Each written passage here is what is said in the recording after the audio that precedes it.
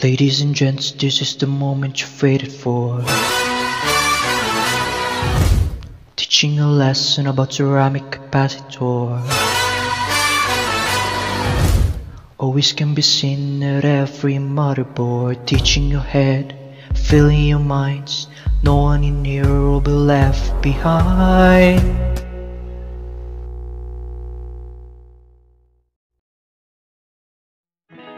Hello everyone, I'm Adrian Siray, a first year engineering student from Rogationist College, the home of the Blue Phoenix. In this video, we will talk about ceramic capacitors and how is it made. But first, I will tell you some history about ceramics. Ceramics is one of the most ancient industries going back thousands of years.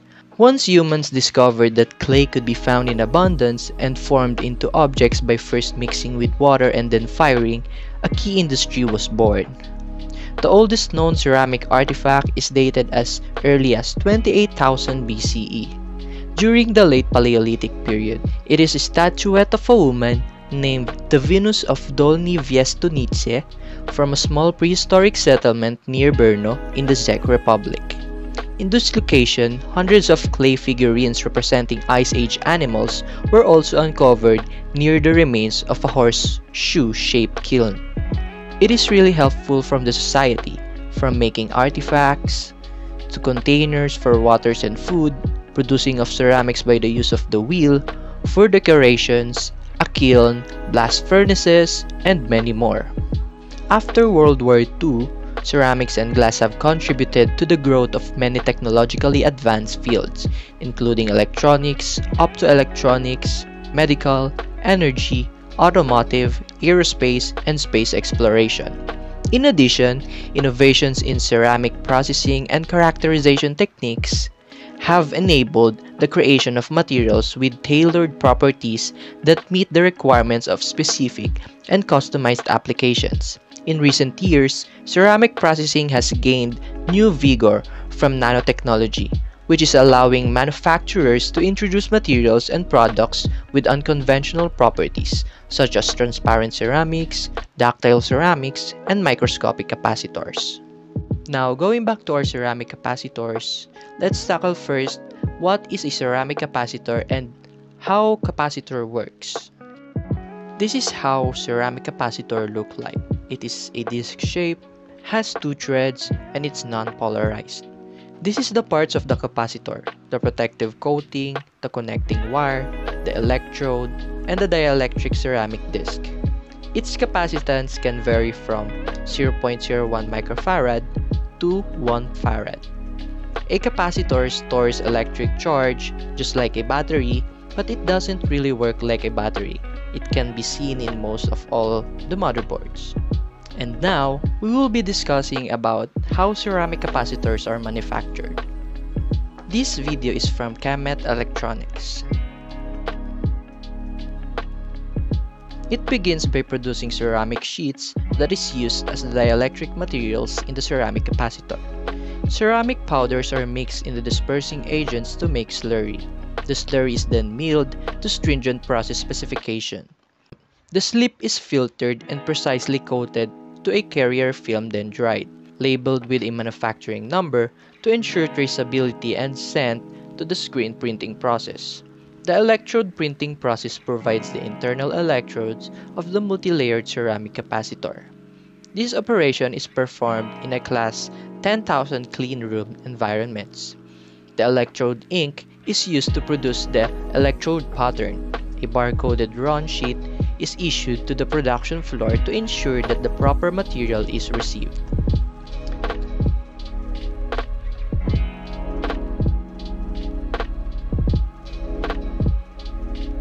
The internal electrodes are screen printed onto the ceramic tape. The precisely patterned screen is used on the roll screen printer to print the electrodes onto the ceramic tape. The roll screen printer D drills the black ceramic tape, prints the electrode pattern, and dries it then re-reels the printed sheet. The printed ceramic tape is then stacked in an alternating manner to produce the multi-layer structure. The chip build-up operation is also performed in a clean environment. Reels of blank ceramic tape are first laminated together to provide the bottom cover layer.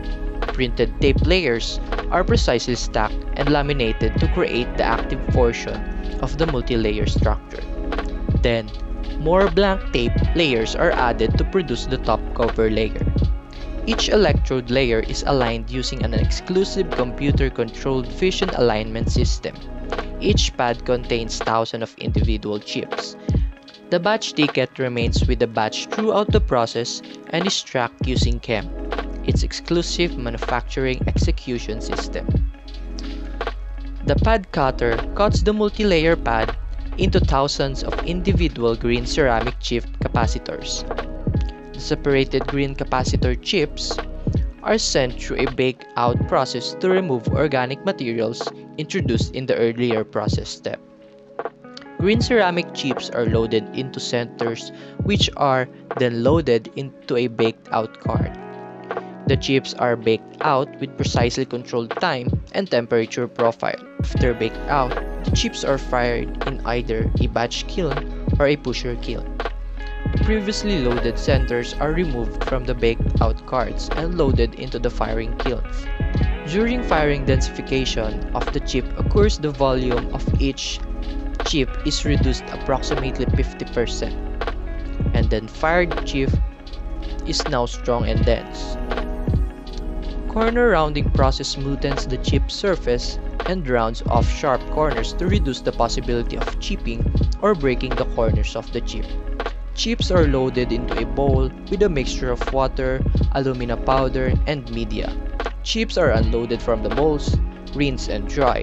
The chips are then separated from the media.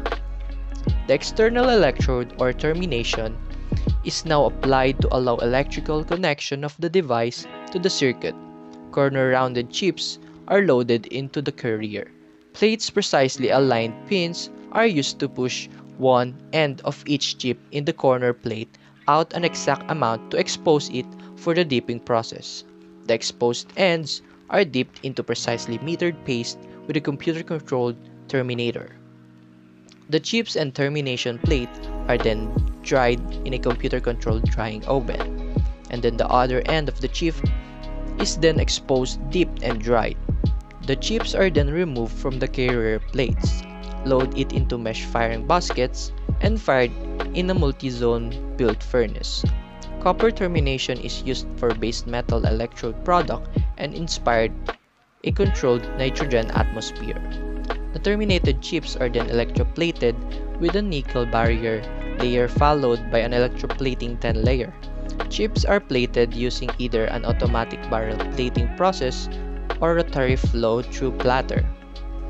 The automatic barrel plating line is a cautious operation, which is computer controlled and capable of processing a variety of chip sizes simultaneously. Chips are loaded into plating barrels with conductive media and plated in the auto line after plating. The chips and media are removed, dried, and separated. Each batch is tested for solder ability to ensure quality. The chips are then 100% tested using state-of-the-art computer-controlled sorting equipment. Each chip is tested to ensure that capacitance, dissipation factor, insulation, resistance, and dielectric withstanding voltage are within stringent specifications. Any chip not meeting these limits is removed from the batch. The capacitors are now ready for packaging. During the packaging process, an additional capacitance and dissipation factor test is performed to further ensure quality as well as error-free packaging.